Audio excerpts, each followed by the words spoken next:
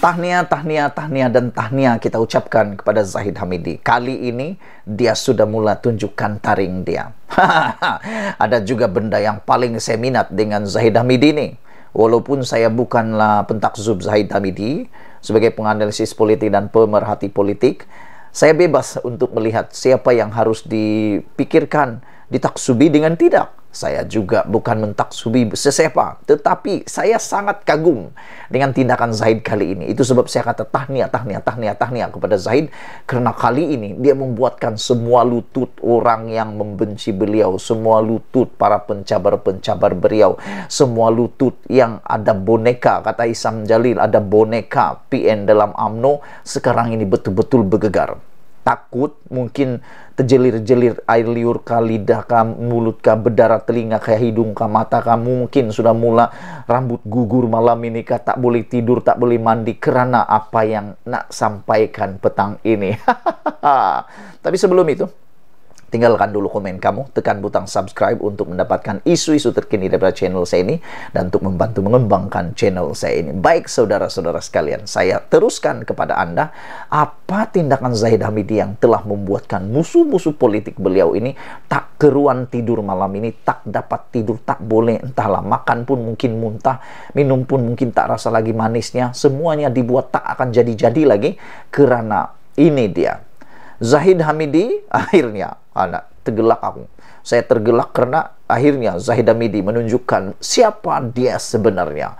Kamu tahu Zahid Hamidi sebenarnya bukan seorang yang pengecut. Dia seorang yang paling berani dalam AMNO sebenarnya. Karena waktu AMNO kalah teruk pada PRU 14 yang lepas, dialah yang satu-satunya bertahan dalam AMNO. Dia tidak melarikan diri. Walaupun ramai meninggalkan beliau, dia berjuang habis-habisan. Sehingga AMNO masih ada pada ketika ini, meskipun pada waktu itu ada ura-ura, ada tindakan mau mengharamkan AMNO, bahkan sudah didedahkan sebelum ini, ada gesaan daripada Tun Mahathir Muhammad pada waktu itu supaya AMNO dibubarkan oleh Zahid Hamidi dan pemimpin-pemimpin AMNO berpindah kepada Bersatu dan seterusnya ahli-ahli AMNO turut berpindah kepada Tun Mahathir. Tetapi hari ini, taring, kuku, ah, cakar, Zahid Hamidi timbul dan keluar lagi membuatkan semua orang bergagar, takut dan tak akan tidur nyenyak malam nih, bermimpi buruk dan ngeri. Apabila akhirnya Zahid Hamidi sedia untuk berlawan. Pencabarnya bolehlah segera buka bilik gerakan mulai hari ini. Presiden AMNO Ahmad Zahid Hamidi akhirnya bersuara dengan memberi komitmen sedia untuk dicabar bagi jawatan Presiden Parti dalam pemilihan akan datang. Persoalannya sekarang ini ialah saya nak dengar pencabar-pencabar Zahid Hamidi pula. Bukalah mulut, bukalah cerita dan berilah komitmen untuk melawan Zaid Hamidi. Jangan tapuk-tapuk. Orang Sabah kata, jangan tapuk-tapuk lagi. Kalau Zahid Hamidi yang dikatakan sebelum ini sebagai orang pengecut, takut, uh, takut kalah dan sebagainya oleh geng-geng yang lain, apa kata geng yang sebelah itu pula? Tunjukkan bahwa Anda adalah singa yang berani mengaum. Pencabar-pencabar Zahid cepat umumkan diri Anda, sedia mencabar Zahid, dan macam yang ditulis oleh Sabudin ini, cepat-cepatlah buka bilik gerakan. Kerana Zahid sudah sedia untuk dicabar. Ah, sedia untuk bercakar. Hebat kan? Apa pendapat kamu semua? Kalau kamu setuju bahwa orang-orang ini patut tampil segera, kalau mereka benar-benar berani seperti Zahid cepat dedahkan nama kamu siapa yang mau cabar. Datusi Ahmad Zahid Hamidi sebagai Presiden AMNO. Kalau Zahid kalah, tak apa. Memang itu namanya demokrasi. Ada kalah, ada menang. Tak mungkin dua-duanya menang. Tidak mungkin. Tapi yang sekarang kita tunggu, siapa yang berani mencabar Zahid Hamidi itu. Tegasnya dalam pemilihan sebelum ini pada PRU pada 2018, beliau juga dicabar dua ahli parti tetapi keputusannya masih memihak kepada beliau yang kemudiannya menyaksikannya memenangi pertandingan itu. Bahkan kata Zahid Hamidi, Kombinasi undi dua pencabarnya ketika itu yaitu Kairi Jamaluddin dan Tengku Razali Hamzah masih kurang berbanding undi diperolehnya. Maknanya dicampur pun undi Kairi Jamaluddin dan Tengku Razali Hamzah pun masih tidak mampu menandingi Zahid Hamidi. Tapi adakah pemilihan pada waktu itu sentimen yang berbeza daripada sentimen sekarang. Karena ada orang kata dulu rempahnya lain. Rempahnya sekarang ini ditambah oleh kekalahan teruk PRU 15 yang lepas yang dikatakan dipertanggungjawabkan sepenuhnya kepada Zahid Hamidi.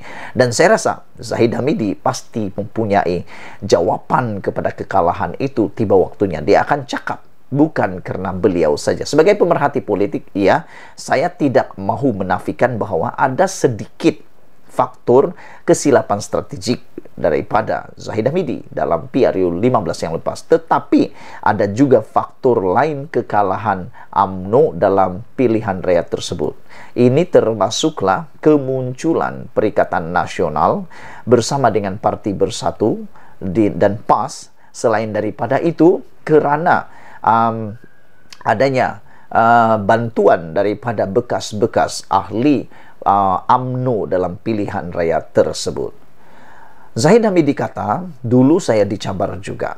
Dua orang cabar saya dan undi mereka masih kurang berbanding undi yang saya peroleh. Bukan nak riak, kata Datuk Sri Zahid Hamidi. Sombong dan takabur maupun ujud. Tapi itulah faktanya, kata beliau. Serentak dengan itu, Ahmad Zaid yang juga timbalan Perdana Menteri menegaskan kuasa untuk menentukan kepimpinan parti terletak kepada kuasa dan suara perwakilan parti di seluruh negara.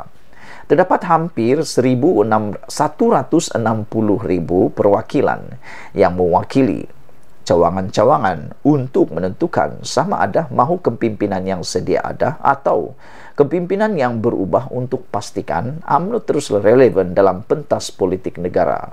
Kuasa mutlak itu adalah kuasa perwakilan, kata Zahid Hamidi. Maknanya, kuasa itu bukan pada pemimpin-pemimpin UMNO, tetapi pada perwakilan.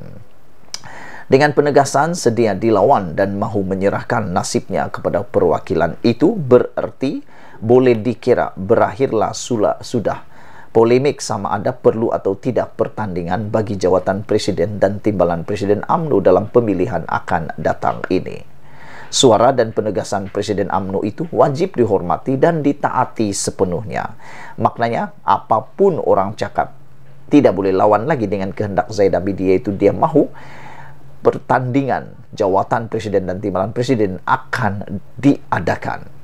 Penyokong dan pengampu Ahmad Zahid Hamidi mesti serta-merta berhenti daripada memberi saranan dan mendesak agar dua jawatan tertinggi itu tidak dipertandingkan. Jika Ahmad Zaid sendiri sudah menunjukkan keterbukaan dan keberanian untuk dilawan, tidak sebab bagi penyokong serta pengampu untuk tidak turut sama menjadi terbuka dan berani. Kepada pencabar yang ingin berlawan dengan Ahmad Zahid Hamidi pula, maka dengan ini bolehlah mula menggerakkan jentera kempen mereka dengan lebih agresif mulai dari sekarang.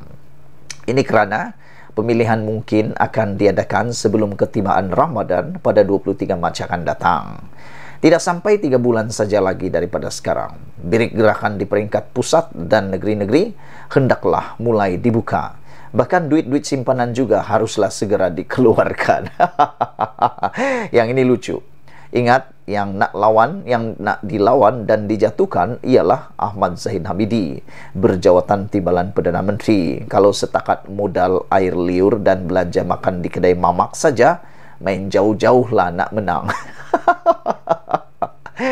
Sekurang-kurangnya, kena belanja makan di hotel tiga bintang dan jumlah perwakilan pula hampir 160 ribu orang. Kiralah sendiri berapa banyak duit belanja diperlukan ini belum lagi kira lagi laun untuk jentera yang bergerak siang malam dan hampir tidak tidur untuk berkempen. Masuk berlawan mesti kena menang. Jika tidak, bagi bagi-bagi Zahid Hamidi menang percuma sajalah. Lu fikirlah sendiri. Sahbudin.com diubah suai oleh Nazilin Unity. Sebelum kita berpisah, sila tinggalkan komen anda, tekan butang subscribe Malaysia kita punya. Kita juga sama-sama cintai Malaysiaku. Bye-bye.